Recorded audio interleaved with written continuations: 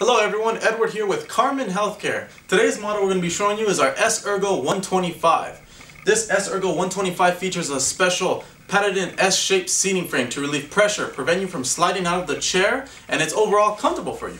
Now, what makes this chair special is its folding backrest, which is very excellent quality compared to most chairs you see out there in the market. It does fold, of course, ease. See here, the chair folds up nice and compact ultra lightweight, 25 pounds. It does come with antibacterial upholstery, which is removable. All of our ergonomic wheelchairs come with removable antibacterial upholstery.